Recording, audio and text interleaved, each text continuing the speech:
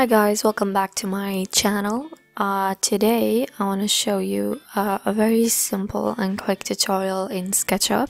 Um, you don't need a, any extension or any tool for this, all you need is SketchUp and your keyboard. Um, it's how to multiply and divide. Uh, some people might think I was living under a rock because I literally just discovered this a few days ago. So um, let's get started. Okay, so let's say uh, you have this plinth and you want to add a balustrade to it. So what you're gonna do is, obviously, you're gonna uh, create your bars. So for this, I'm gonna use a square shaped bar, which is 5 centimeter by 5 centimeter. You can do whatever shape you like, just that's the one I'm be doing. And then you can make it as a component or a group, and I have a video uh, showing you the difference between both components and group. I'm gonna make it as a component for now. I'll move it to the edge and then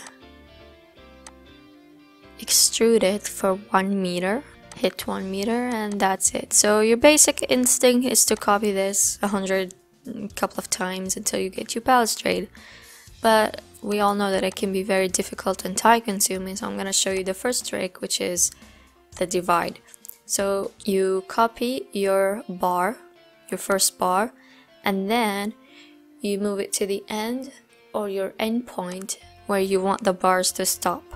And then you're gonna press the slash button on your keyboard the backslash. It's basically just a math formula if you want to divide something you'd add uh, the backslash. So you just divide it into how many ever uh, bars you'd like.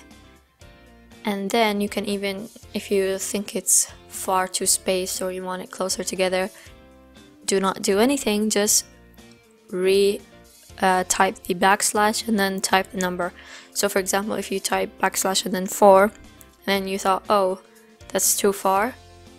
Leave it as it is backslash and then 6 or 7 or 8 or whatever. You can do even textures with it like if you want to do wood texture uh, wood panels you can even uh, to 50 I even tried 1000 one time and it was really funny because it was just a black solid.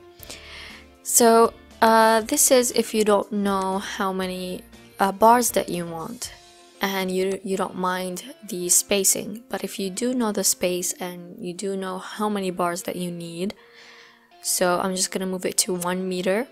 If you press the red button uh, the right button, it will restrict your cursor to the uh, red axis and if you press the left, it will restrict it only to the green axis. So I'm gonna move it to 1 meter and then press X.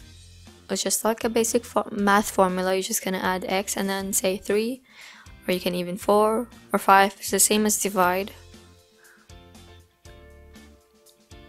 And there you have it. It's really simple and it saves a lot of time in my opinion. And it's so crazy, I didn't even know you could do this. And then obviously because I had them as components, so later on if you wanna uh, change the design or anything, you wanna make them wider or uh, you're, you're not doing a balustrade, maybe you're doing walls or whatever.